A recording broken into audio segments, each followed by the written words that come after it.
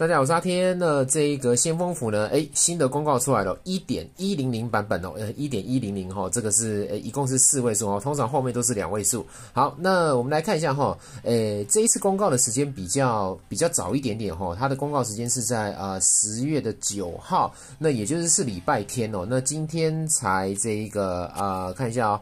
十月五号是礼拜三嘛，所以先锋府的话，这一次更新的时间早了一些哦。原本都是呃今天更新，呃对不起，今天公告，明天更新嘛。那这一次呢，哦新的恶魔出场了哦，怒恨魔兽，呃卡尼萨 and 鲁克哦。那这卡尼萨听起来像是像是女生哦，然后鲁克的话应该是这个魔兽的名字哈。那所以说呢，这可能是一个一个怎么讲呢？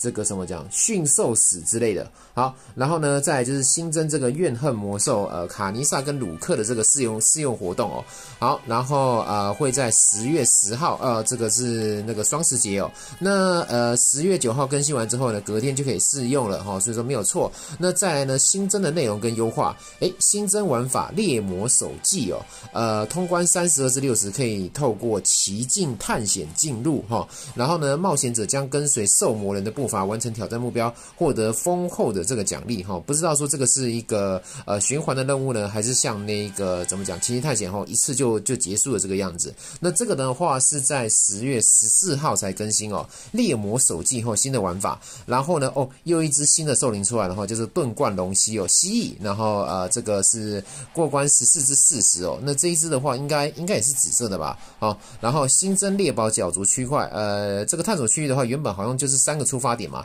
现在又多了一个，是不是这样子可以分散玩家？然后啊，我们。排名就可以爬的比较前面一点哈，不不不是不知道是不是是是不是这个用意哦。好，然后呢，新增乱石之境生成追剿的推荐阵容啊，碎啦，好，这 就是 copy 别人的这个阵容哈，无脑无脑 copy 阵容之类的哈。好，然后呢，新增暗影入侵求助功能。暗影入侵的话，就是这个 Vampire Survival 的那个 那个游戏嘛哈。那这个的话呢，就是诶，这个也要求助哈。不过呢，三消活动也有求助哈。那暗影入侵的话。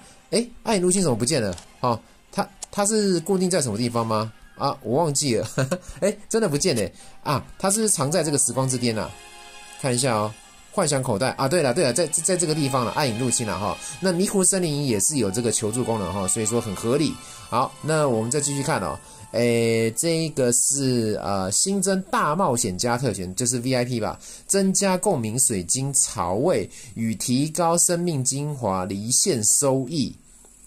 大冒险家特权，增加共鸣水晶的槽位，这个就是说可以多放一些英雄，这个呃不影响进入极域梦境啊，因为极域梦境的条件是两个，一个是你的这一个等级，一个是你拥有的神话的这一个英雄数量，所以这个呢就只是呃怎么讲呢？VIP 的玩家多多多一点点这个这个这个方方便性哦，然后呢提高生命精华的离线收益哦，这可能会再多加再再多增加一点资源吧，然后调整英雄携带数。量上限哈，哎，这个也不错哈。每次合一合之后呢，这个英雄就爆掉了。好，然后呢，再来这个奇境探险副本是每次都会有的。然后啊，奇境漫游的副本哈，这个是旧的，呃，这这个奇境探险拿过来复刻的哈。然后战争艺术六十趴就可以解锁。好，王座之塔一一千六了哈。然后呢，其他也是一样哈，再继续往上开，然后再继续调降。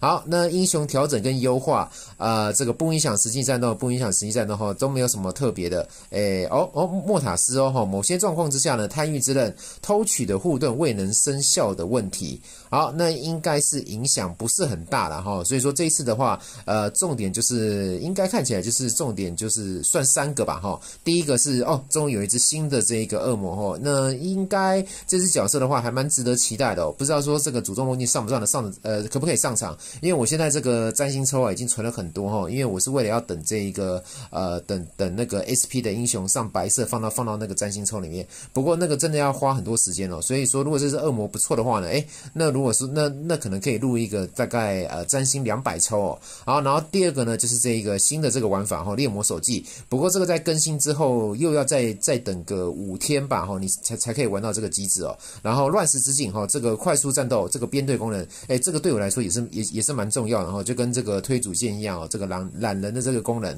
好了，那影片就先到这个地方了，谢谢大家观看，然后更新的时间是在十月。九号不是明天哦，OK，那我是阿天，我们下次见，拜拜。